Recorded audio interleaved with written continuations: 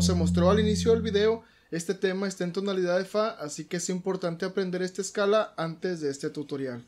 Iniciamos con las dos notas de Do y la nota de La.